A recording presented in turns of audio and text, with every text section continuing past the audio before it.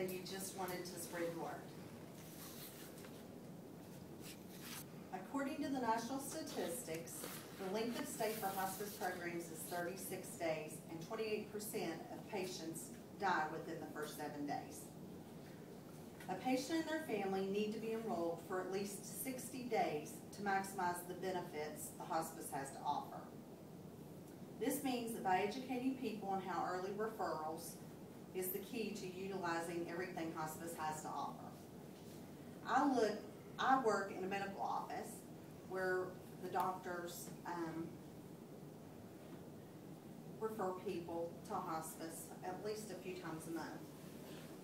This normally occurs when they are, have, are either bedridden or the family has got to the point that they can't deal with the pain that the patient's enduring. And I've also had two family members in the last three years that have suffered from cancer that were unable to benefit from hospice until the last few days of their lives because they were unaware of what hospice had to offer.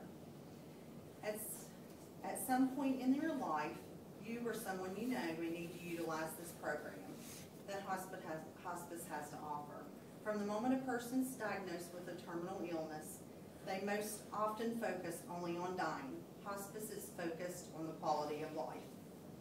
Hospice of Huntington depends on people like you and I to educate others on how to utilize the programs hospice has to offer through early referral.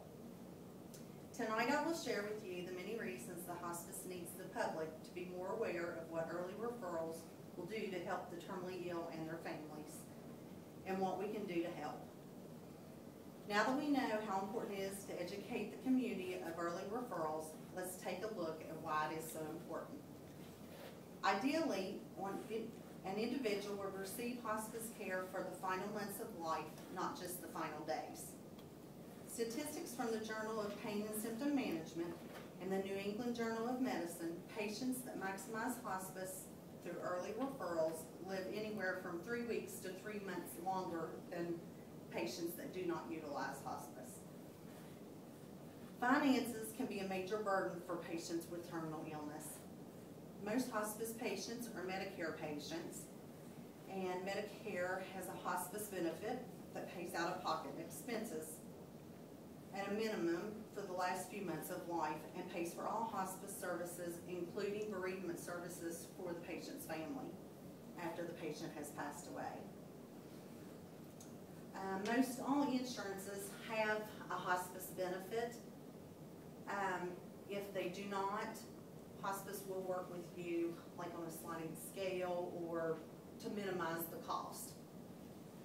Hospice cares for many types of illnesses such as cancer, heart failure, COPD, Alzheimer's, AIDS, anyone with a terminal illness. Along with offering more spiritual care and offerings and are more breakthrough barriers that can prevent some cultures from experiencing spiritual and management and pain management and social spiritual family would benefit from earlier use. Early discussions about hospice can facilitate an open communication, provide clients a choice and sense of control. Early referrals also allow the families time to prepare for changes they will face, giving them time to say goodbye, and reduce the chance of the family having prolonged and complicated grief.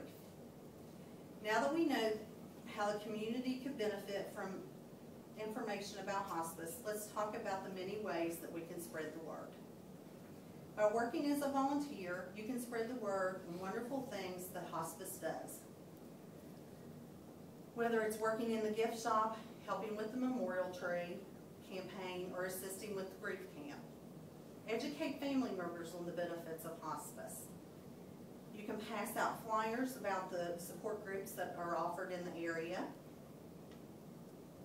Or if you're joined a civil group or social group or even your place of employment, they will talk to your boss, they will come in and, and discuss it with, um, large groups or small groups. Welcome hospice as a friend on Facebook. Discuss with your minister or your priest about introducing hospice to the congregation.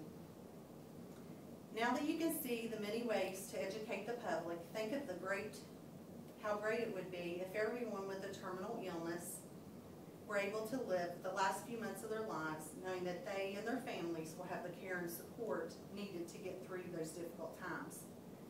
Imagine what it would be like if everyone with a life-limiting illness and their families had the care, support, and decisions-making information available to them. Pain and sys- symptom management is their number one priority for the patient.